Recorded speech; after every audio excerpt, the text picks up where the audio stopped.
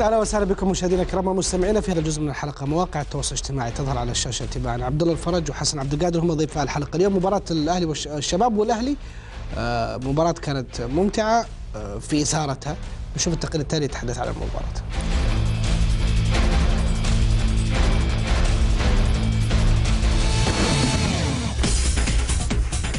لقاء حبس الأنفاس كثيرا وحسمت نتيجته أخيرا.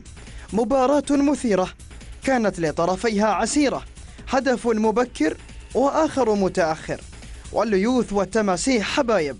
بدأ اللقاء بهدف أهلوي مبكر. ومن كرة طويلة لعبها كاماتشو. وصلت لهداف الفطرة فيكتور سيموس. الذي سجل هذه المرة بطريقة مختلفة تماما عن كل سابقاتها. والسفاح يضع الكرة بصدره في الشباك الشبابية. ويرجح كفة الضيوف مع بداية اللقاء.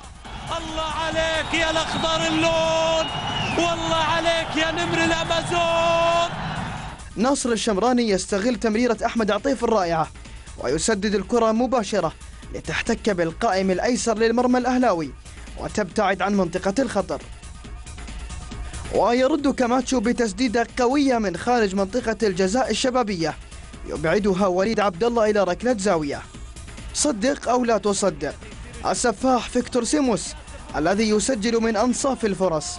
يضيع هذه الهجمة التي لن أصفها. وسأكتفي بعرضها لكم وأترك لكم الوصف. وكيف تضيع؟ وكيف تجي ذي؟ فيكتور سيموس اللي سجل أصعب الأهداف ضيع اسهل لا لا لا لا لا لا لا, لا, لا. ضربة عين عدى من الحارس. ضغط الليوث مع آخر الدقائق ونوعوا في طرق التهديد على المرمى الأهلاوي. ولكن كل تلك الفرص لم تثمر عن أي هدف حتى جاءت آخر الكرات وآخر الهجمات. والبديل مختار فلاتة يمرر الكرة للبديل الآخر جيباروف الذي لدغها بقدمه والقائم يتصدى لها. لكن ما يصح إلا الصحيح والزلزال يهز الشباك الأهلاوية بقذيفة لا تصد ولا ترد ليجن جنون الليوث وتملأ الأفراح جوانب المدرجات الشبابية. لقلوب جماهيره. ناصر الشباب والمنتصر لقلوب جماهيره. سجل التعديل. وينهي الشبابيون مشوارهم في الدور الأول متصدرين للترتيب وبلا خسائر. مسفر الخثعمي كورة.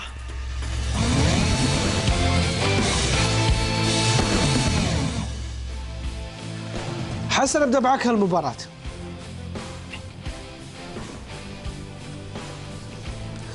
آه، طبعا آه، آه، المباراة يعني أنا وجهة نظر شخصية كانت عادلة في نتيجتها يعني ال- الأهلي كان الأفضل خلال الشوط الأول وسجل. الشباب كان يعني أفضل خلال شوط المباراة الثاني وسجل لكن هي يمكن نتيجة المباراة كانت سيئة على الهلاويين بناء على توقيت الهدف. يعني يمكن كان خلاص بيستعدون للفرح اللي بيحقق فوز مهم على متصدر الدوري على أرضه.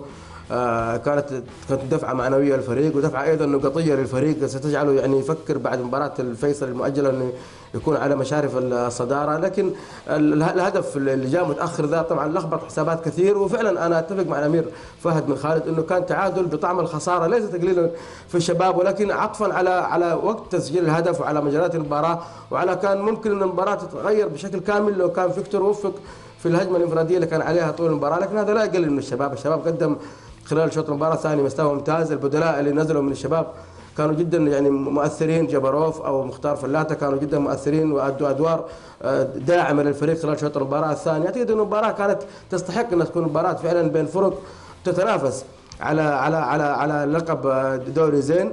آه، أعتقد أن نتي- نتيجة الأمس الاتفاق والهلال واليوم الشباب والأهلي أبقت الأمور كما هي في نفس المربع. كل الفرق خرجت بالتعادل. وبالتالي ليس هناك كاسب أو رابح أكبر في هذه الجولة سوى ان الشباب لم يسجل في في سجلاته فريق خاسر ولكنه بقي كما هو آه، نفس المسافة عن جميع الفرق الأربعة خلال ال- الجولة.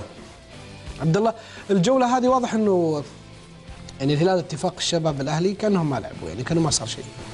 صحيح. أنا بضيف على كلام أخوي حسن إنه اليوم ال- الأهلي أنا أتصور إنه فعلا خسر بالتعادل. ليه؟ لأن لأن الفريق في الشوط الأول كان متفوق تفوق واضح وكان يعني يصل لمرمى ال- الشباب ويعني مجرد ما ما تشوف لاعب مثل فيكتور ينفرد بذلك الشكل آه، يعني تشعر بقدرة الأهلي على على أن يعني يصل إضافة إلى من وجهة نظري الشخصية أنه الأهلي هو الذي منح الشباب فرصة امتلاك الأمور في الشوط الثاني. هو اللي تراجع آه، إلى الخلف هو اللي سلم يعني الشوط الثاني سلمها ال- الأهلاويون آه، آه، يعني بإرادتهم ال- ال- المباراة لل- للشباب. حتى حصل ضغط وحصل يعني مع كثرة الضغط والفرص تحقق للشباب التعادل. لذلك أنا أقول إنه الأهلي فعلا فرط في ثلاث نقاط كانت هامة جدا وتجعله كان لو كسب الأهلي اليوم كان بيكون فا- الفارق بينه وبين الشباب نقطة واحدة. نجح ال- ال- الفريقين إنهم يثبتوا للرأي العام والمتابعين الرياضيين انه إنه ما في أي شيء وترسبات من ال- اللي حدث الموسم الماضي